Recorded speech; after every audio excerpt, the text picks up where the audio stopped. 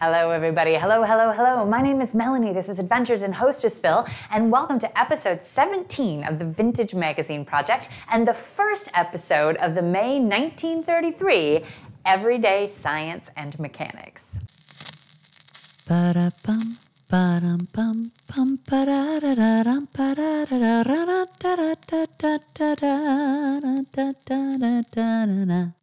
So, those of you who have been watching the show for a while know that the first episode of the month is always the cooking episode. And this magazine did not make it easy for me. There are no recipes, there's nothing about cooking or food at all. But because I am thorough, I, uh, I did find something to go on. There is the 89 cent book sale here Personal Magnetism, Fortune Telling, Bible jingle rhymes. And they've got this book called Cocktails and Punches by Charles of Delmonico's. So this is going to be the bartending episode. Now, they even made it hard for me to just find that book because it's not actually called Cocktails and Punches. But again, thorough. I found it online. The book is called Cheerio! Exclamation point, a book of punches and cocktails, how to mix them, and other rare, exquisite, and delicate drinks, including a chapter of celebrities and their favorite drinks by Charles, formerly of Delmonico's. Now, the funny thing is that in 1933, the country is still in prohibition. It is not actually technically illegal to drink in prohibition. The only things that are illegal are the sale, manufacture, and transport of alcohol. So I guess it's sort of like you can buy this book the same way that you can go into a head shop and get a copy of High Times, even if your state hasn't legalized marijuana yet. So I am going to make some of the drinks out of this book. Chapter one is called Morning Drinks, known as pickups or bracers for when you stagger out of bed groggy, grouchy, and cross tempered. Okay, when I think of a morning drink, I think of like a mimosa or um, maybe I don't know, a Bloody Mary. I don't really know very much about drinks. That is not what Charles, formerly of Delmonico's, thinks of. Um, so the first drink is called the Charleston Bracer. So let's get this going. I don't have any cracked ice, but I got ice and I got a hammer. So prohibition is really on its way out. In April, there was something called the Cullen Harrison Act, which amended prohibition to say that you could buy light beer and wine. So like 3-2 beer and then light wine was essentially they would sell like a wine cooler. So it would be bottled, but it'd be part wine and part like carbonated water. And in fact, the day it passed, um, August Busch of Anheuser-Busch in St. Louis, he actually went and bought a giant wagon filled it up with cases of beer, attached it to this team of Clydesdale horses, and sent it from St. Louis to Washington, D.C. of a gift of beer to Franklin Delano Roosevelt. And that is how the uh, Budweiser Clydesdales started. One part brandy. Okay. One part port wine. Oh, this is going to have a cork. Oh, it is screw top. Yes. A screw top cork. That's class. Half a teaspoonful of powdered sugar. Ta-ta-ta. And the secret ingredient. There are a lot of raw eggs in this book. It said that I was supposed supposed to use sufficient um, cracked ice. Do I look so professional in my dad's old bow tie? Ooh, it's getting cold. That's, I don't make mixed drinks. I don't know how to do this. I don't, I, the, the, the, this book assumes that you're a bit more of a cocktail person than I am. I didn't expect it to be so chocolate milk looking. Bottoms up.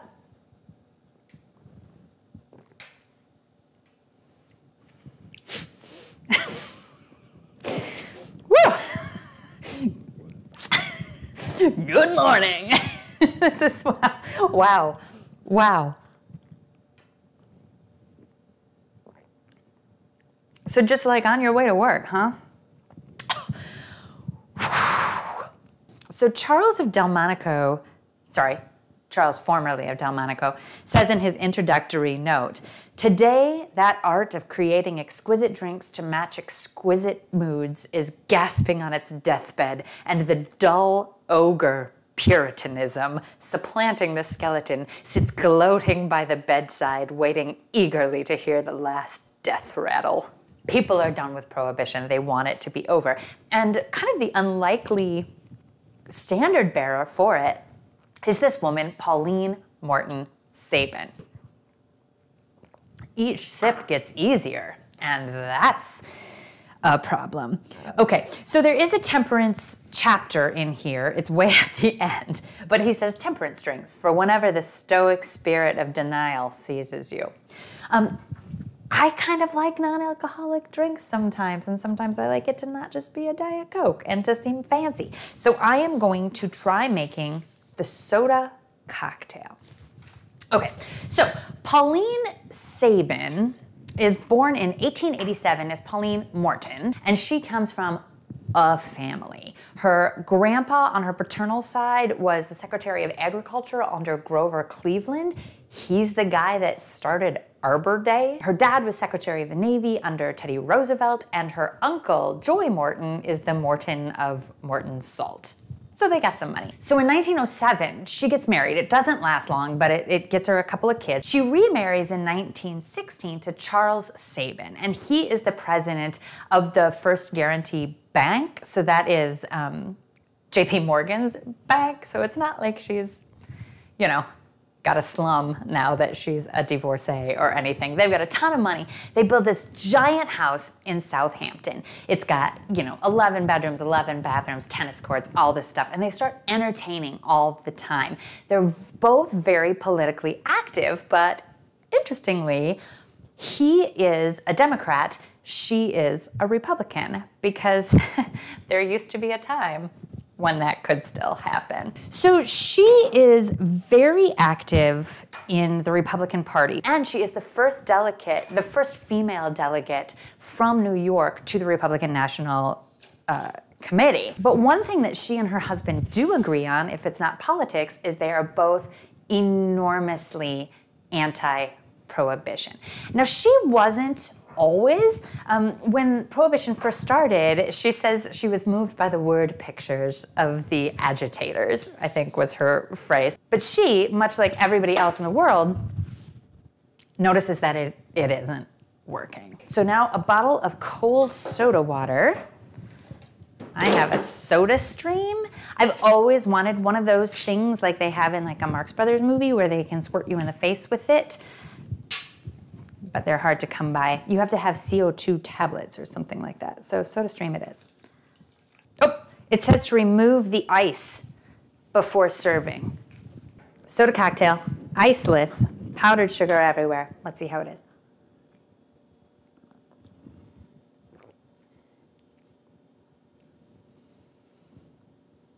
Well,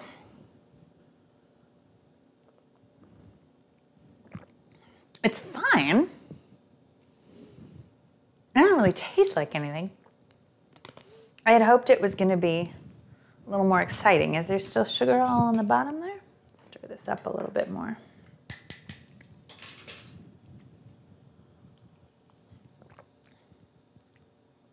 Nope. Okay, so the next one that I want to try is from the fancy wine drink chapter for the pink jowled, round paunched, side whiskered lover of red, gold, purple, and plain white wines. The one that I'm gonna make is called the Baklanova Nectar. So, the big thing that really changes Pauline Sabin's mind about prohibition is that people are ignoring it. They are just flat out ignoring it. And I don't mean like the street corner souses who are now drinking denatured alcohol or whatever. All of these major politicians that she's always got coming over to her house for a party. And she's, you know, she says that she'll see them, particularly on her side and the Republican side, tends to be the dry candidates. People are coming to her houses for these parties, and she's like, Oh, sure, you don't think it should be legal to drink, but you are more than happy to like show up here and drink all my liquor. She said, You know, what am I supposed to tell my sons? If they see that no one is paying attention to this law, if this is what youth are seeing, how can we say that, well, now, but you have to listen to these other laws? It's just this one thing that you could ignore. She's like, nope, get it out of there so that we can have a law that we're actually following. She also feels, and I think rightly so, that it actually was safer when it was regulated. If a saloon keeper served alcohol to an underage kid, they're going to lose their license. But she said in a speakeasy, it don't matter. Anybody can go in, drink anytime they want. In the 1928 election, she supports Herbert Hoover even though he's the dry candidate because behind the scenes he's saying like no i know it's not working i'm gonna do something about it. But then he gets elected and he doesn't. So she's like you know what? I'm done. And she quits the Republican committees that she's on, and she forms her own organization, which she calls the Women's Organization for National Prohibition Repeal. And when it starts, it's just her and two dozen of her friends that she has handpicked because they are rich, but also she has picked the ones that are smart, that are willing to actually do some work, the ones that are really sophisticated and, and in the newspapers all the time, uh, because she feels like that will draw in other people. And it works. Pauline Sabin is not some flapper standing on a table in a speakeasy with her bathtub gin 23 skidoo you know like that's not her she's this very classy sophisticated woman and that makes a lot of women in smaller towns feel like oh i want to be part of that i can do that and it doesn't make me not a good woman. She doesn't actually make a statement on whether or not she thinks you should drink because she doesn't want to turn away the people that are really into temperance. And she's like, you know what? If you think the world would be better with no alcohol at all and you want to continue to fight for it and that is your cause, good for you. Go for it. This isn't working. She also keeps it really nonpartisan. And I think two years after she founds her organization, it has 1.5 million members, which is three times the membership of the Women's Christian Temperance Union. And in 1932, Franklin Delano Roosevelt is elected, and by 1933, prohibition is done which means I can have another alcoholic beverage. So let's put together this Baklanova nectar. The shredded rind of half a lemon, that's about this. And then a tablespoon of powdered sugar. The juice of a whole lemon. Oh, I didn't juice this lemon. The funny thing about um, this organization is that even though it was really, really successful, she doesn't keep it up afterwards. Some of the members of the organization were saying, Well, what are we gonna do now? And she's like, Nothing we're done. This is disbanded, which left her time for the, the new organization that she formed to uh, fight the New Deal. She is still not really a Democrat. A few slices of cucumber with the skin on. And now we're gonna do equal parts claret, champagne, and seltzer. I asked the guy at the wine store, and I went to like a big store to have the most selection. And I asked him if he had heard of claret, and he was like, "No, never heard of it," and started to walk away from me, and was like, "Do do you want to?" Help me figure it out. So I explained what it is. And then I found this thing that says claret right on the label. Good Lord. If you are going to work at a wine store, you need to read a lot more vintage novels sparkling water. Uh, Baklanova, it appears from the internet, there was a Russian actress that was very popular in the early part of the 20th century. And I can't even remember what her first name was because she was one of these, and I am Baklanova kind of people. So I'm assuming that it's, it's named after her.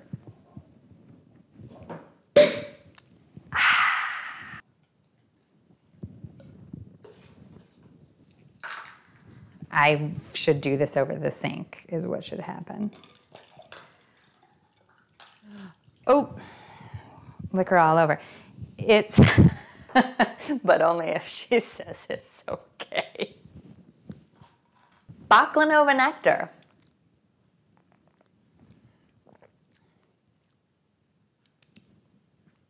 Ooh, it's tart, which is right up my alley. Okay, winner so far. So I'm gonna make another temperance drink, and it's got ginger ale.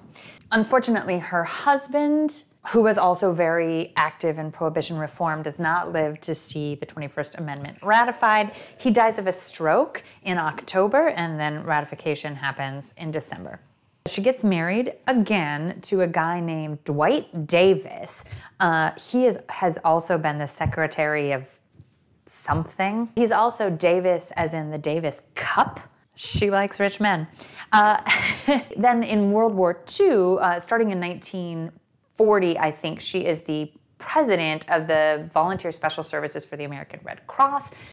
But then they have to leave Southampton and move to DC for Dwight's job, I think in 1943, at which point she gets a job as a design consultant for the Truman administration because they're updating the White House and she's the interior decorator for it. She dies in 1955 after doing a lot of amazing things, not the least of which is getting prohibition reformed so that we don't have to drink cocktails called a milk fizz.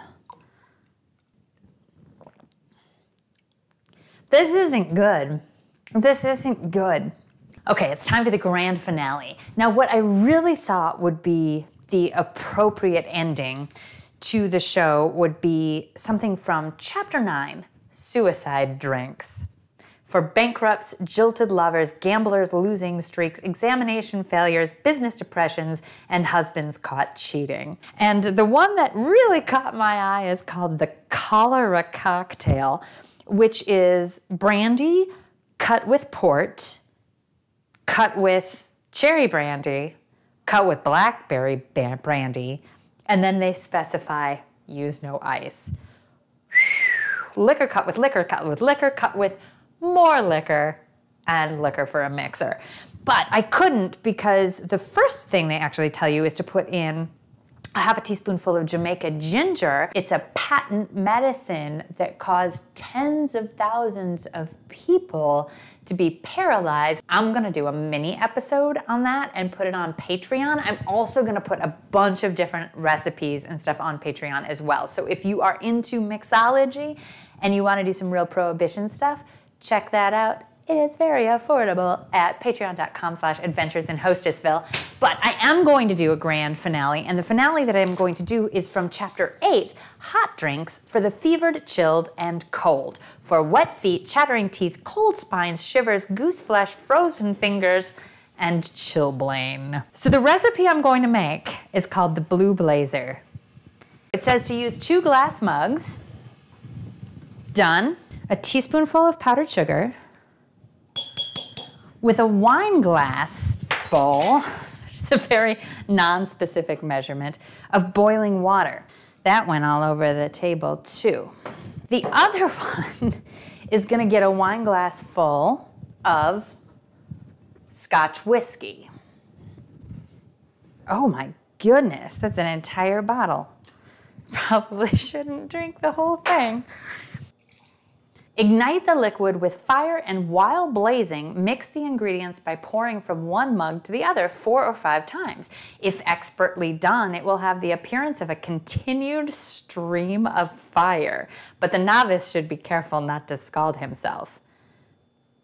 I, I am the novice. I still have a burn on my hand from the prune whip in episode one.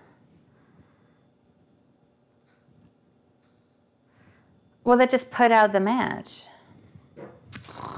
Maybe this isn't as terrifying as I thought it was going to be.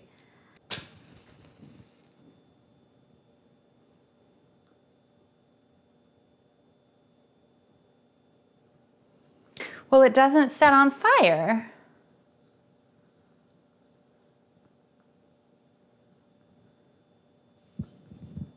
That doesn't work.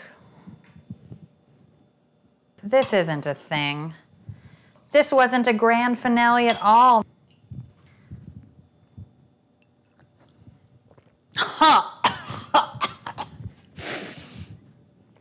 oh, I don't like whiskey. So my grand finale is a bust. but um, I will try more of these cocktails like I said, on Patreon. So check that out. You can also follow me on Facebook and Instagram. You can hit subscribe or like here. And next week we'll be doing something else, 1933. Thanks so much and have a great day. I didn't even go in the cup.